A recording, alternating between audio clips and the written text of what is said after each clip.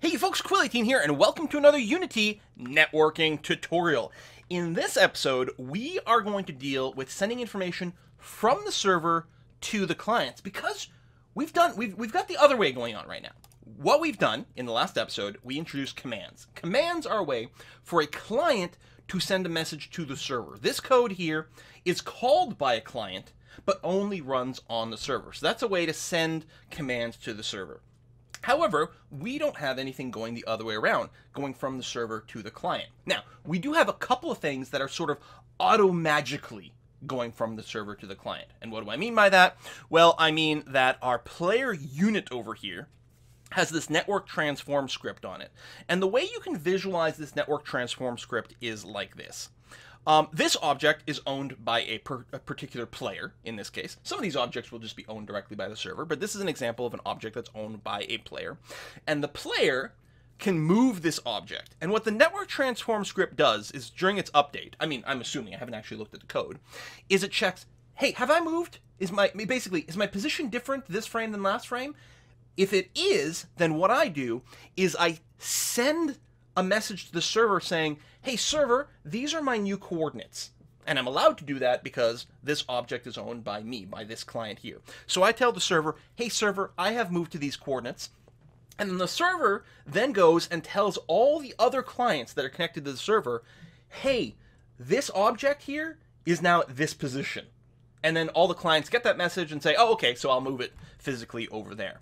Um, and in fact, it's very likely that the this client here, the one that owns this player unit, also gets the message from the server that says, "Hey, this object is now positioned here." But I'm assuming the network transform script says, "Yeah, yeah, yeah, don't worry about it. I've got control over my own position. In fact, I might be slightly ahead of you, so I'm just going to ignore the message from the server." However, some games won't ignore that message from the server. Because it's possible that you've done something that due to lag or whatever moved you into an illegal um, uh, position. At which point the message from the server says oh you know you only thought you were here you're actually over here. And that's what rubber banding comes from. Your your character will then rubber band or spring back to some previous location based on the message from the server. But this is all happening kind of automag- automatically behind the scenes. The network's transform script is great does a lot of, you know, works very nicely, um, but doesn't do anything we couldn't program on our own. Now, we're not going to start with trying to synchronize position. Instead, we're going to look at something considerably simpler and say something like, hey, our player over here, most people want to have a name in the game. So let's assume we want to be able to have a name for our players. So we're going to do that we'll do something that we've done, say, lots of time. We'll set up some sort of variable. I'll make it public just so we can see it in the inspector, but it doesn't have to be public at all. Public string player name, and we'll have it be anonymous by default. Anonymous over here, okay? Now, what you might do um, on on sort of startup, like maybe literally during the start routine over here, is check you know some configuration file because someone went into their options and set some sort of username or something like that, and we copy it from there. Uh, but you also might want to be able to change it midway through a play session, right? You decide halfway through a game that you're going to change your name to something else. People do that all the time. So we want some sort of mechanic to do that. Now, I'm not going to build a big proper user interface to get this done.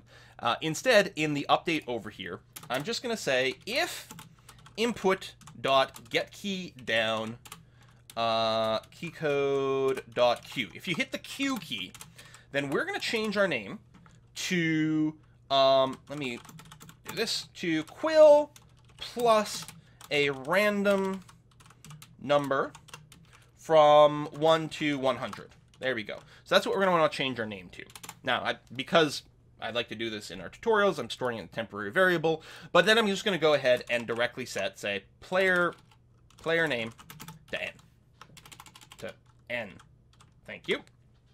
So we have changed player name to n. However, this action here is only running on our own personal computer on our own local machine. Because remember, update runs on everyone's computer whether they own this object or not. And that includes the server's copy of this. But then we're checking to make sure at this point that, hey, we are actually the local player that truly is supposed to own this object.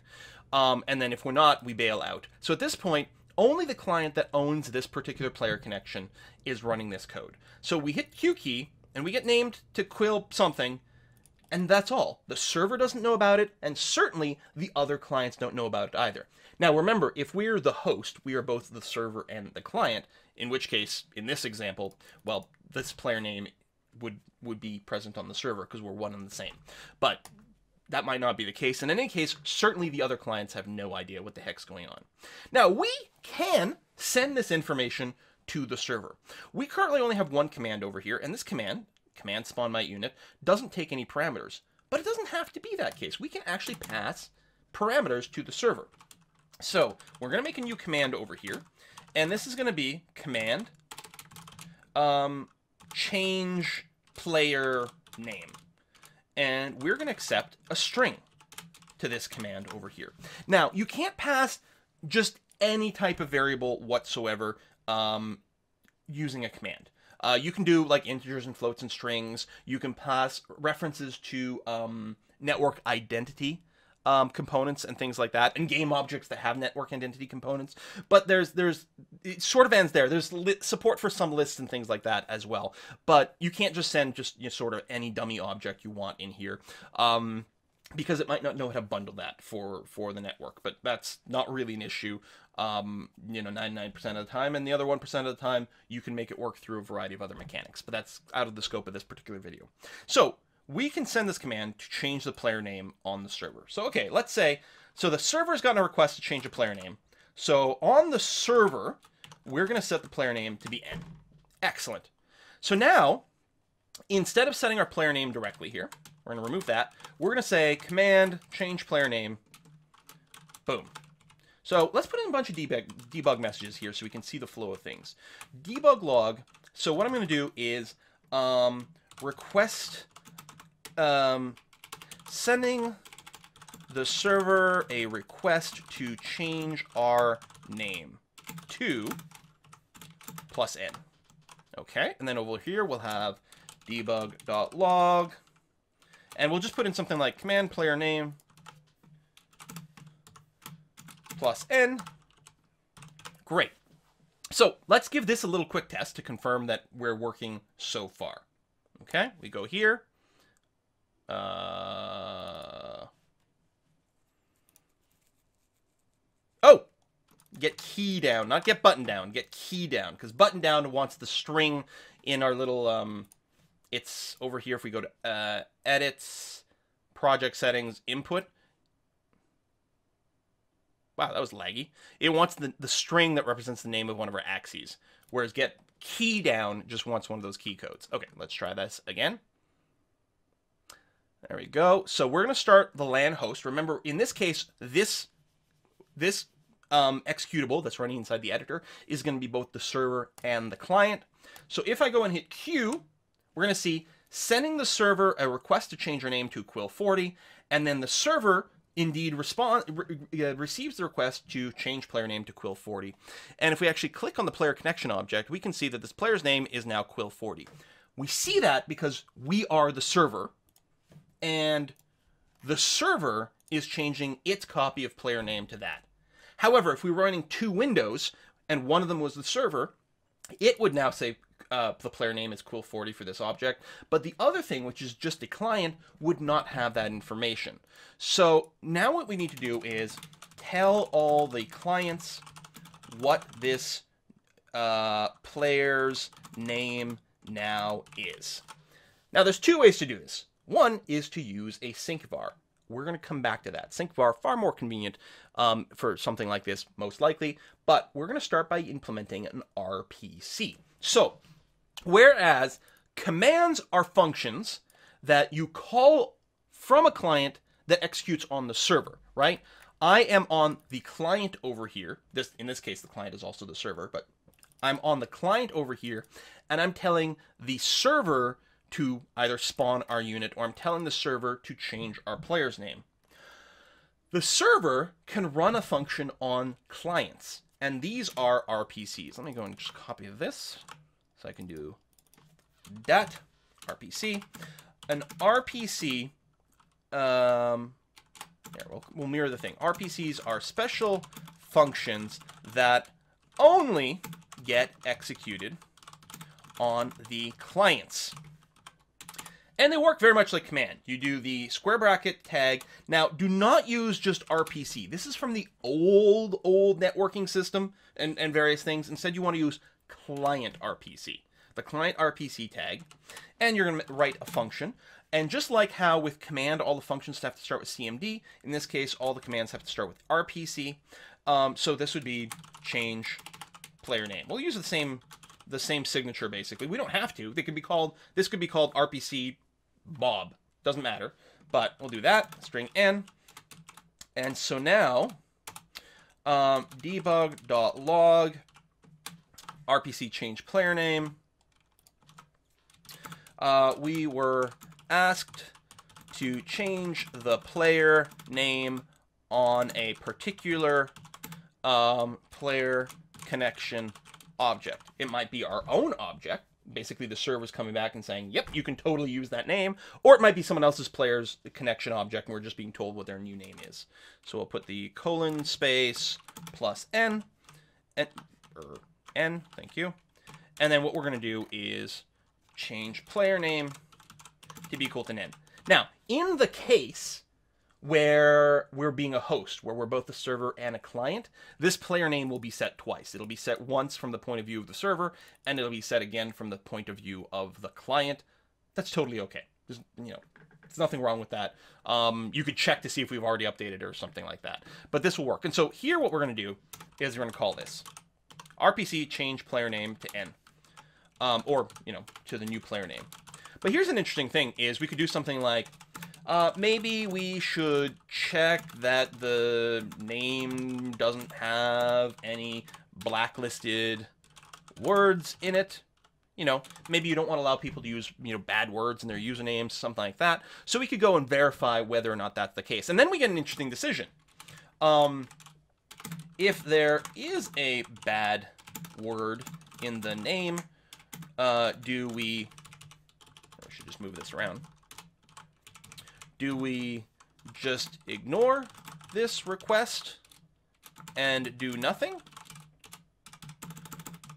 Or do we still call the RPC but with but with oh my god the original name okay now for the player name change, it's probably be fine to just return immediately and do nothing.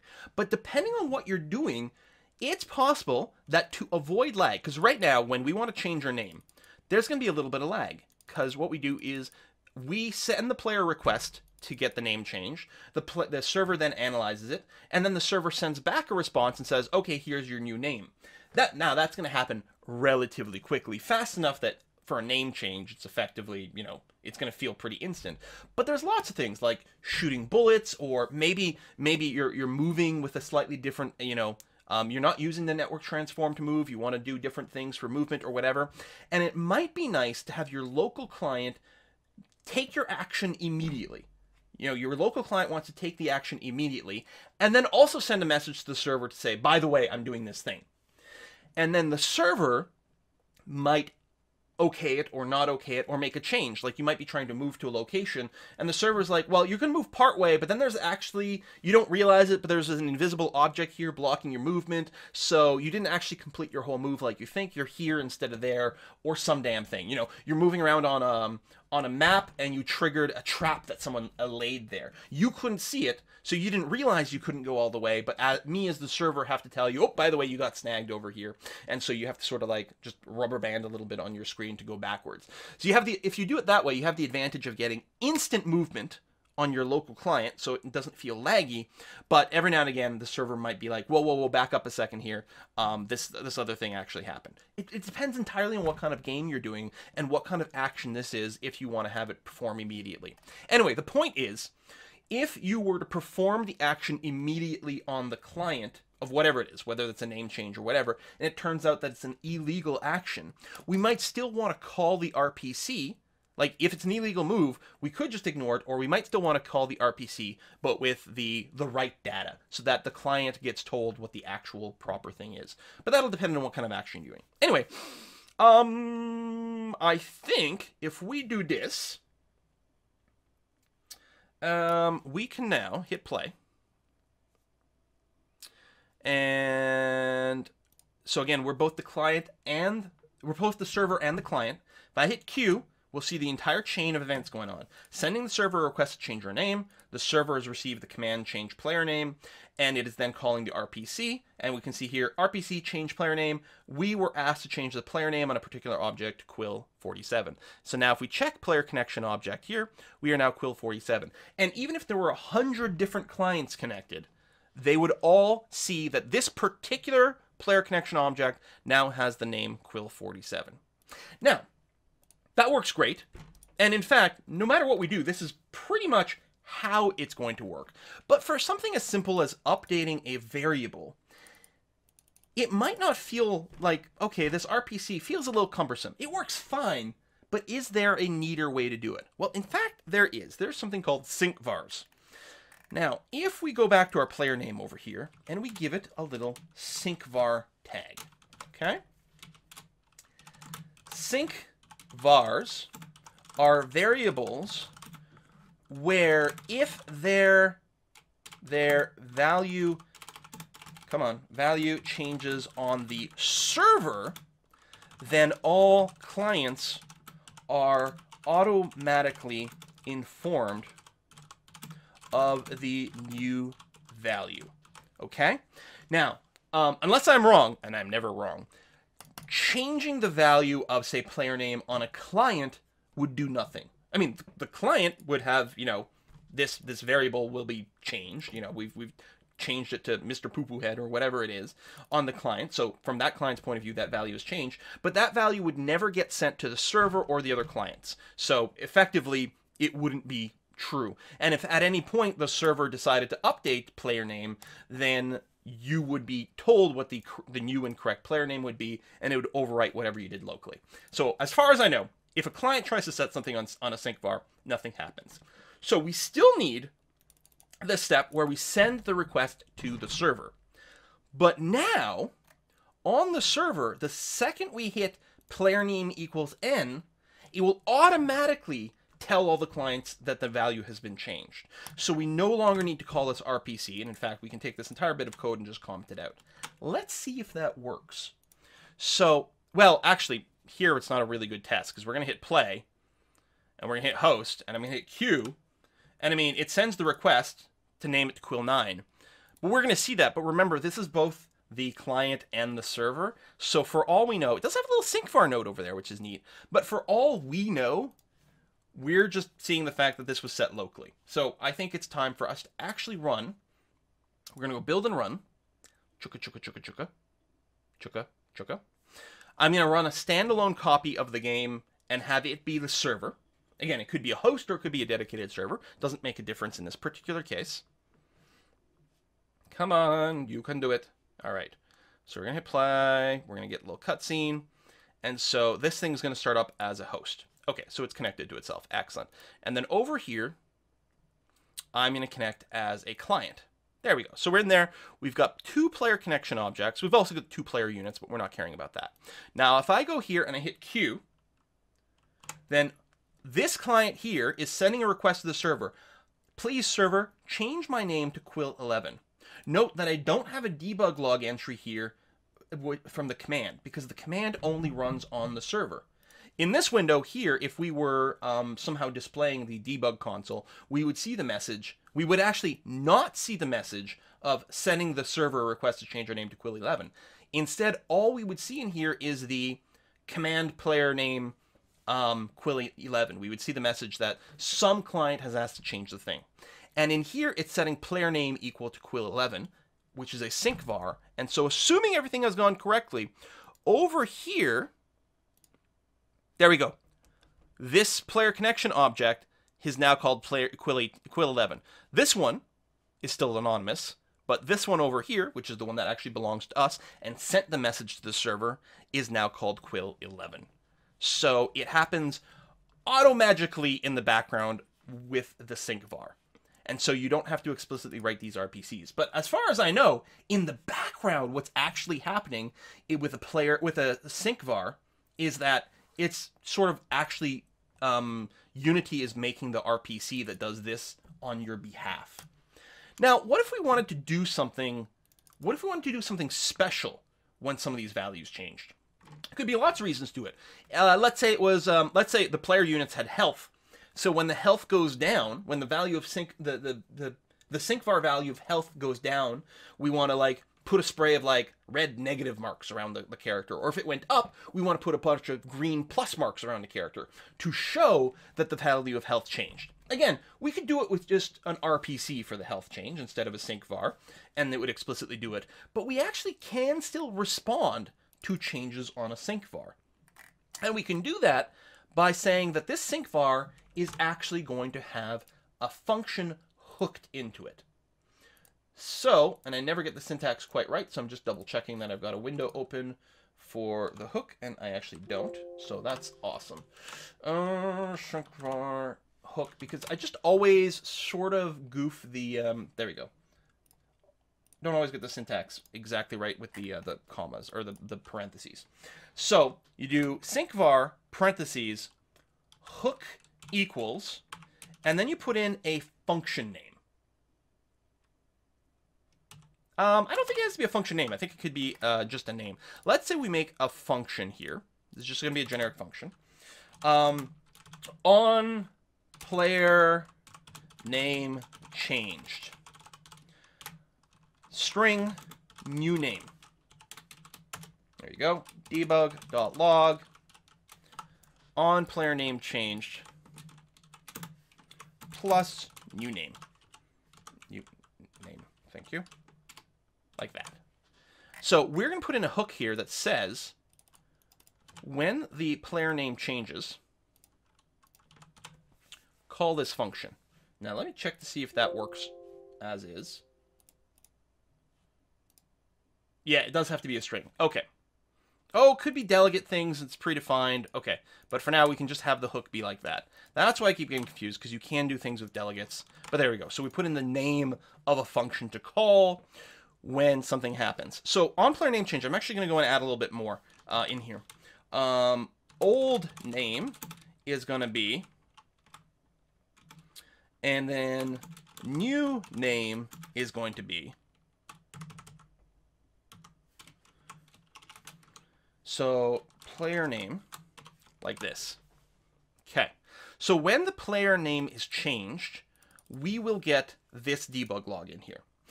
And then we could do something else. We could be something like, um, oh, how about game object dot name? We want to rename our game object to um, player connection object square brackets, and in the square brackets, we want to um, put in the, the player name.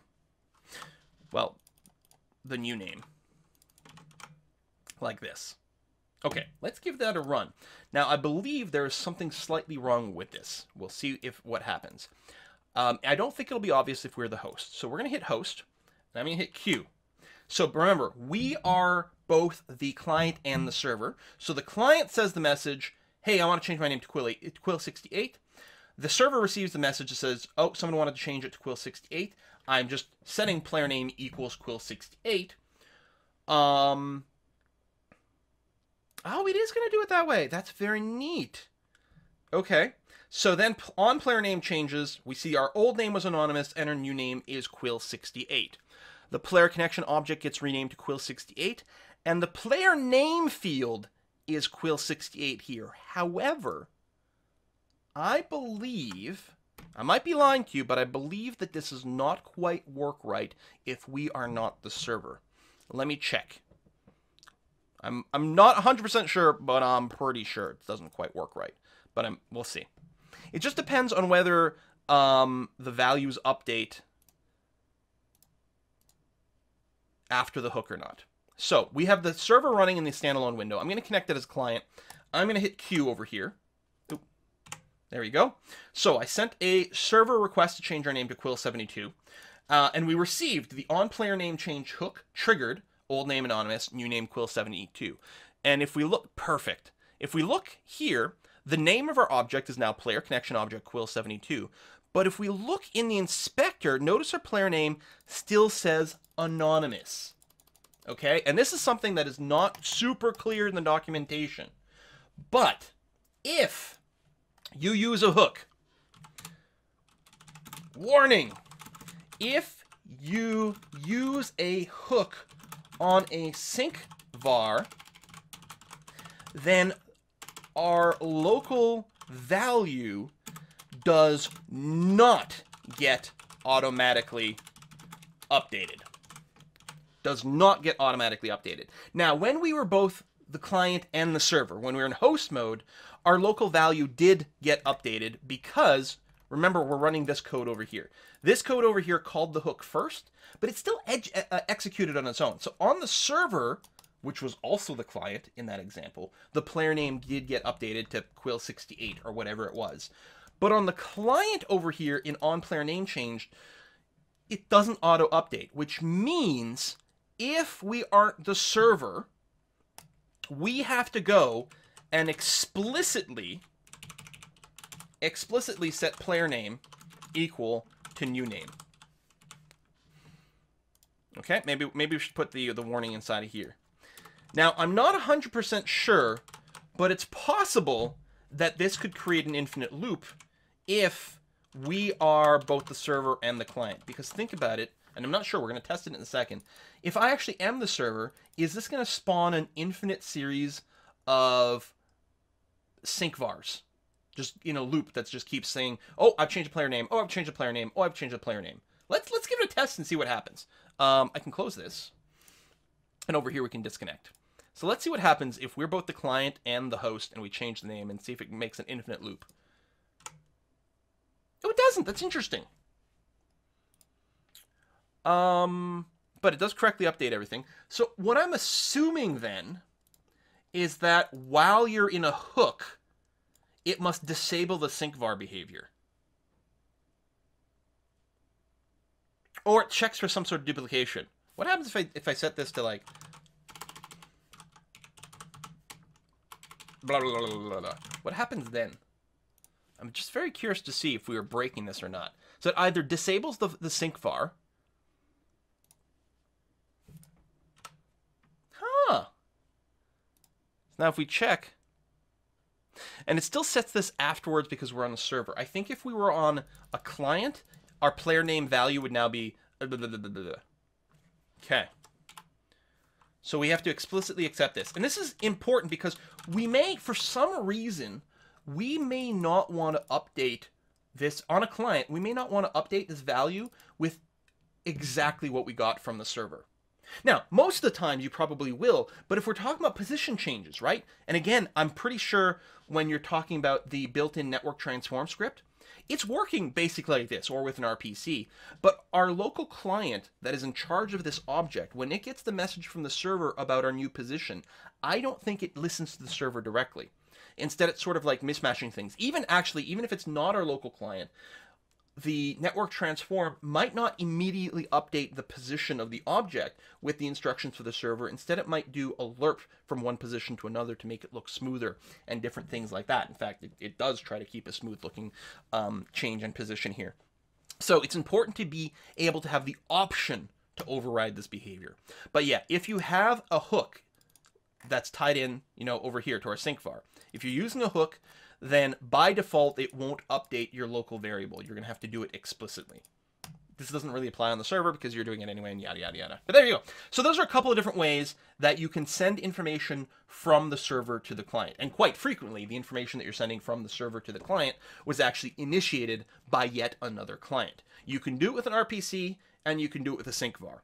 Now, in terms of actual amount of code, if you are using a hook on a sync var, then that's probably exactly the same as an RPC. Because think about it, what's going on here, right, is basically exactly the same as if this were just an RPC. It's like basically the same thing. In fact, I suspect that internally, it literally is the same thing. That the sync var is just calling an RPC, and that's all there is to it. And so when you put a hook, you're basically just writing that. Um, and that's fine. There's nothing wrong with that. I, I, I don't know if there's a way to get um past here. I, I think that on a hook, you can't say find out who initiated this change. Whereas if you had an RPC, you could actually like pass a reference to the person who initiated this RPC call if it didn't come directly from the server, in case that matters for some reason. Um, but there's other ways to just bundle this information in there. So anyway,